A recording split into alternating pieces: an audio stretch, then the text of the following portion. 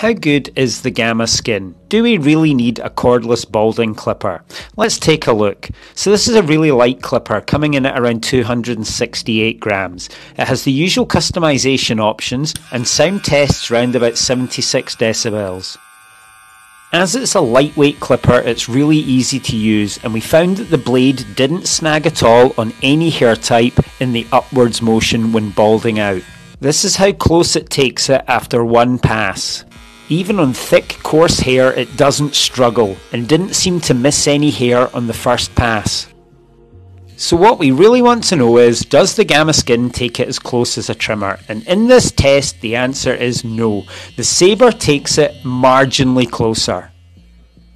So overall, I've found this a fairly useful machine, especially for protecting your trimmer blades if you want to keep them sharp for lining. Now the wider blade also lets you bald out larger areas in one pass, which is useful. Yes, this machine is niche, but it has found its way into my rotation.